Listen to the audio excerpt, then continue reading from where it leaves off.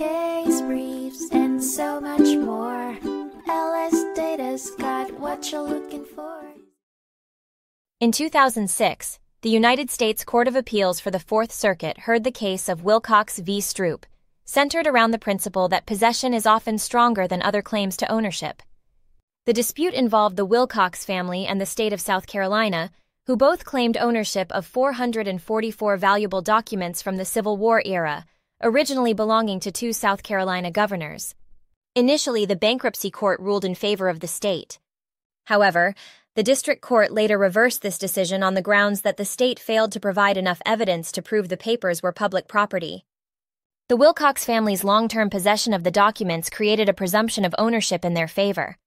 Thomas Law Willcox sued for a declaratory judgment that the papers were a part of his estate, and the case continues with two other defendants. Ultimately, the court agreed with the district court's judgment and granted possession of the papers to the Willcox family.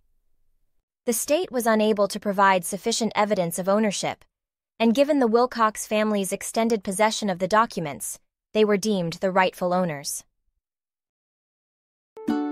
Case briefs, and so much more. LS Data's got what you're looking for. Visit lsd.law, elevate your mind. Stress of class.